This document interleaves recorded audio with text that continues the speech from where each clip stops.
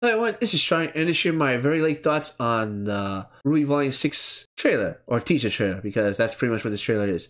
Now, the trailer didn't blow me away in any way or form. I can't wait to see my girls back together and kicking some ass. And it looks like they're going to kick ass on another training scene again. Hooray! This is awesome! In terms of content of story, we didn't really got anything. Like, all based on the images, or was revealed to us in the trailer, is the fact that they they need to move the relic to a different, to a safe location. At least that's based on my theory. And she's like, not just Salem's cronies are after them, but it seems like other people will have their own selfish interests as well for the relic. At least that's what I'm getting. And then we had to get to this location. We're off on a journey. Hooray!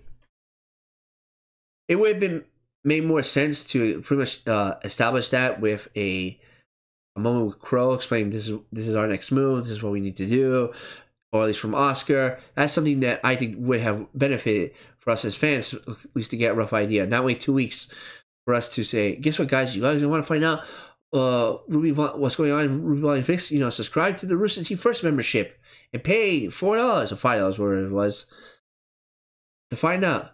Now, it seems like once again, they're trying to sell the, the membership uh, pitch. The fact that they opened the scene with uh, very nicely detailed of the of the trees, and and I think this once again shows that Rooster Teeth and Miles and Kerry have lost the freaking mark. Uh, what is the selling point of this series?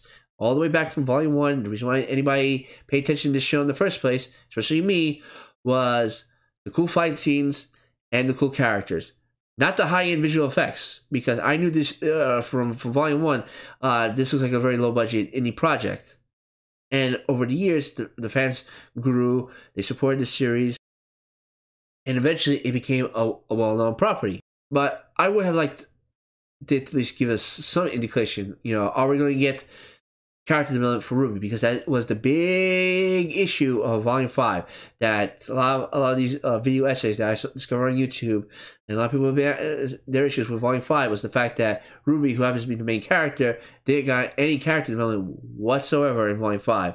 And it seems like uh, Miles seems to be whining over on Twitter, bitching about people criticizing how he should be criticized. But instead of you know taking the constructive criticism and evaluate that, okay, uh, we lost focus in Volume Five. We're going to maintain our focus. That Ruby is going to be the main focus of Volume Six. Uh, we're we're going to develop her character. We're going to see her grow as a leader. That's stuff that I would have loved that they actually addressed in this trailer you know, Sheldon instead of ending the trailer said, "What's the plan, Ruby? Let's not anybody die." Oh, really? Like uh, the fact that uh, Kira died in Volume Three.